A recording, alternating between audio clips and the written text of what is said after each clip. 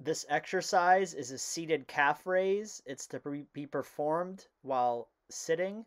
You really want to focus on the contraction at the bottom and the top of the reps, squeezing your calves and feeling the movement and the mind muscle connection.